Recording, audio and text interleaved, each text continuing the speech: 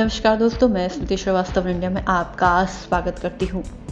जैसे जैसे T twenty विश्व कप 2021 के आयोजन का वक्त करीब आ रहा है, सभी देश अपनी अपनी टीमों को अंतिम रूप देने की दिशा में जुट गए हैं। टीम में जगह हासिल करने के लिए खिलाड़ी भी कोई कसर नहीं छोड़ रहे हैं। ऐसा ही कुछ पाकिस्तान के खिलाड़ियों के साथ भी हो रहा है। सीपीएल 2021 में पाकिस्तान के खिलाड़ी गेंद और बल्ले से धमाकेदार प्रदर्शन करके चयनकर्ताओं का ध्यान अपनी ओर आकर्षित करने की पुरजोर कोशिश कर रहे हैं। कैरिबियन प्रीमियर लीग में पाकिस्तान के बल्लेबाज शोएब मलिक भी अपना जलवा दिखाने का काम कर रहे हैं।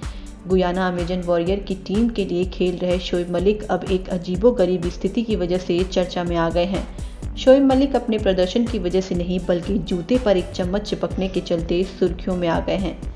दरअसल, शोएब मलिक जूते पर कांटे वाली चम्मच के साथ बल्लेबाजी करने मैदान पर उतरे। ये एक प्लास्टिक की चम्मच थी। शोएब मलिक के दाएँ पैर के जूते में प्लास्टिक की चम्मच फंसी थी। मलिक ने कुछ देर खेला, तब जाकर उन्हें चम्मच के बारे में पता चला। इसके बाद मलिक ने जूता निकलवाया और फिर साथ खिलाड़ी को बुलाकर चम्मच को बाहर फेंकवा दिया। बता दें, कैमरे में जूते में चम्मच नज़र आई तो ग्राउंड पर मौजूद खिलाड़ी और कमेंटेटर्स अपनी हँसी नहीं रोक पाए।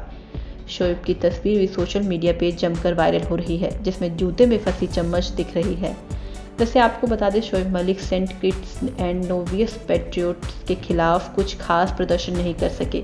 उन्होंने चौथे नंबर पर बल्लेबाजी करते हुए 12 गेंदों में 12 रन बनाए। अमेजन वॉरियर ने एक रन का लक्ष्य दिया था, जिसे पैट्रियोट्स ने दो विकेट पर सात गेंद शेष रहते हासिल कर लिया। फ़िलहाल के लिए खबरों में इतना ही। तमाम अपडेट्स के लिए देखते रहिए वन इंडिया।